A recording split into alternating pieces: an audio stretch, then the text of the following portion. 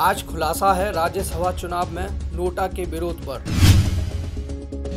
Supreme court ने गुजरात में राज्यसभा की तीन सीटों के चुनाव में बैलेट पेपर पर नोटा का विकल्प दिए जाने के चुनाव आयोग के फैसले पर रोक नहीं लगाई है। उसने कांग्रेस की दलीलों को न सिर्फ़ खारिज किया, बल्कि यह भी कहा कि अपनी सुविधा के हिसाब से वह इन चीज़ों का विरोध नहीं कर सकती है। इस फैसले के बाद तय हो गया है कि गुजरात का चुनाव नोटा के साथ होगा। तभी सवाल है कि कांग्रेस के विरोध की असली वजह क्या थी और इसका क्या असर होगा। चुनाव आयोग के वकील अशोक देसाई ने सुप्रीम कोर्ट में कहा कि सर्वोच्च अदालत के आदेश के बाद 2014 में नोटा अधिसूचित होने के बाद राज्यसभा की पिचानवे सीटों के लिए चुनाव हुए और सब में नोटा का इस्तेमाल किया गया। लेकिन तब कांग्रेस ने कोई विरोध नहीं किया। अदालत ने उनकी इस दलील को स्वीकार किया और कांग्रेस के दोनों हाई प्रोफ़ाइल वकीलों कपिल सिवल और अभिषेक मनु सिंघवी को कहा कि जब तक उन्हें यह अनुकूल लगा, उन्होंने इसका विरोध नहीं किया।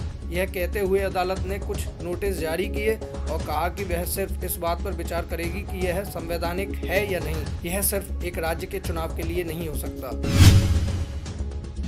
सुप्रीम कोर्ट की दो जजों की बेंच इस पर विचार करेगी कि नोटा, यानी इनमें से कोई नहीं का विकल्प, राज्यसभा चुनाव में दिया जाना चाहिए या नहीं? ध्यान रहे, नोटा का विकल्प सभी चुनावों में दिया जाने लगा है। कांग्रेस ने गुजरात में राज्यसभा चुनाव में नोटा का विकल्प देने पर इस आधार पर सवाल उठाया है कि इसके लिए जन प्रतिनिधित्व कानून में बदलाव नहीं किया गया है और यह सिर्फ़ चुनाव आयोग का एक सर्कुलर है। लेकिन यह ध्यान रखने की बात है कि पिछले डेढ़ दशक में चुनाव में जो भी सुधार हुए हैं वह आयोग के कार्यकारी आदेशों से ही हुए हैं। नामांकन पत्र दाखिल करने के लिए हलफनामा देने और उसमें अपनी संपत्ति, देनदारी और शैक्षिक व आपराधिक रिकॉर्ड की जानकारी देने का काम भी आयोग के कार्यकारी आदेश से ही शुरू हुआ था। और उस समय केंद्र की अटल बिहारी वाजपेयी सरकार ने इस आधार पर ही इसे अदालत में चुनौती दी थी कि यह जन प्रतिनिधित्व कानून का उल्लंघन है। लेकिन सर्वोच्च अदालत ने उस समय भी उनकी दलीलें खारिज कर दी थी। तो कांग्रेस के यह तर्क लचर हैं कि सिर्फ़ कार्यकारी आदेश से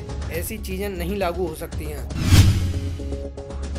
चुनाव आयोग के अधिकार को चुनौती देने का कांग्रेस का फैसला भले गलत है, लेकिन यह बात सही है कि राज्यसभा चुनाव में नोटा गैर ज़रूरी है। इसका कारण यह है कि यह चुनाव लोकसभा और विधानसभा चुनावों से अलग है। उन चुनावों में आम मतदाता वोट देता है, जिसे कई बार उम्मीदवार के बारे में जानकारी नहीं होती। उन चुनावों में बड़ी संख्या में उम्मीदवार लड़ते हैं, जिनमें कई आपराधिक छवि के होते हैं। दूसरे, मतदाता किसी पार्टी के साथ बंधे नहीं होते। इसके उलट राज्यसभा चुनाव में उम्मीदवारों की संख्या सीमित होती है और मतदाता किसी न किसी पार्टी के चुने हुए प्रतिनिधि होते हैं और इस नाते वे पार्टी विप से बंधे होते हैं। उनको नोटा सत्ता का विकल्प देना सीधे सीधे उनके पार्टी नेतृत्व की ओर से चुने गए उम्मीदवार की मुखालफत के लिए उकसाना होगा। उन्हें एक विकल्प दिया जाएगा कि वे पार्टी के आदेशों को न माने और कार्रवाई से भी बच जाएँ। निश्चित रूप से इसी तर्क के आधार पर राष्ट्रपति या उपराष्ट्रपति चुनाव में नोटा का इस्तेमाल नहीं किया गया है, जबकि वहाँ व्हिप भी जारी नहीं होता है। उसमें निर्वाचन मंडल के सदस्य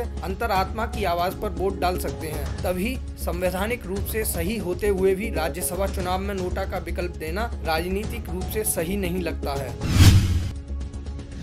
कांग्रेस की यह चिंता सही है कि इससे भ्रष्टाचार बढ़ेगा। वैसे भी पिछले कई राज्यसभा चुनावों में पैसे के लेन देन की खबरें आती रही हैं। पैसे लेकर विधायक पार्टी विप का उल्लंघन कर देते हैं, लेकिन नोटा का विकल्प देने से उनको विप का उल्लंघन करने की ज़रूरत नहीं है। वे अगर नोटा का विकल्प चुनते हैं तो उन पर विप लागू नहीं होगा। इसे माना जाएगा की वे चुनाव में गैर हाजिर रहे।